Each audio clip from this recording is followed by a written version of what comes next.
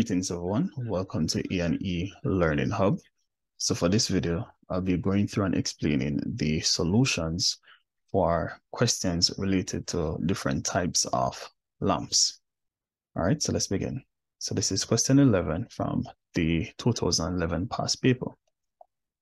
Part A, it says explain briefly the following terms. Part 1 of A, illumination. Illumination is defined as the energy of light striking a surface of specific unit area per unit time. So that's it for part one of A. For part two, luminous intensity. This is the amount of light emitted by a light source in a particular direction. All right, so that's it for part two of A. Part B, it says state two advantages of incandescent lamps over gas-filled lamps. One, incandescent lamps are cheaper.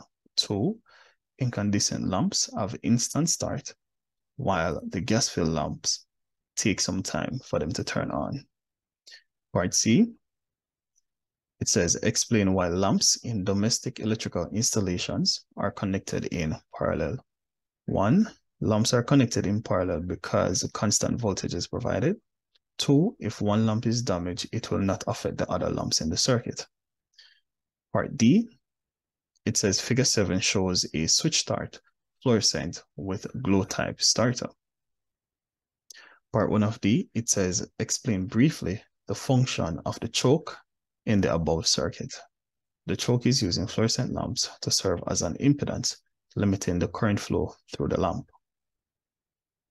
Part 2, it says state the function of C1 and C2 in the above circuit. C1.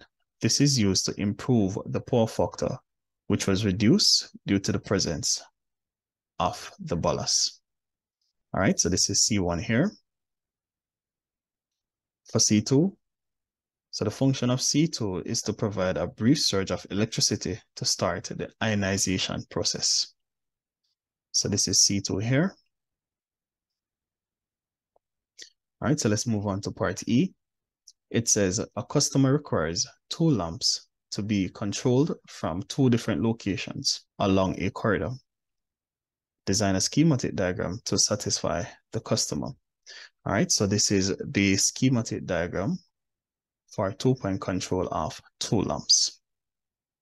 So here we have lamp one, lamp two, and we have the two switches connected across a source. All right, so that's it for part E. Part F, it says name two instruments you can use to test the circuit for part E above before it is energized. So the two instruments are continuity tester and ohm meter. All right, so that's it for this question. Now let's move on to the next question. So this is question 11 from the 2006 past paper it says figure 7 shows the schematic for a lead lag circuit for operating a pair of fluorescent lamps. All right, so here is figure 7, part A. It says explain briefly the function of the choke in the operation of electric discharge lamps. So the choke is used to provide an impedance limiting the current through the lamp. Part B, briefly explain the term stroboscopic effect with reference to electric discharge lighting in industrial settings. The stroboscopic effect refers to the visual phenomenon that occurs when a rapidly flashing light, such as an electric discharge lamp in industrial setting, appears to be either motionless or moving slowly, even though it is actually flashing at a high frequency.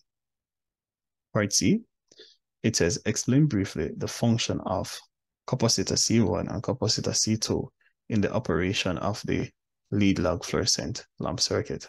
C1 is used to modify the circuit characteristics, such as to increase the starting voltage of the lamp. So C2, the function of C2 is to provide a brief surge of electricity to start the ionization process.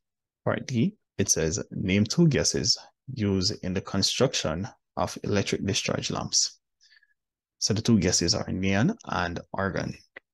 Part E, it says give two inductive components used in the construction of electric discharge lamps. So the two components are ballast and igniters. Part F, it says list two major advantages of using fluorescent lamps in industrial installation. One, fluorescent lamps have a longer lifespan than filament lamps. Two, they are more energy efficient. All right, so that's it for this question.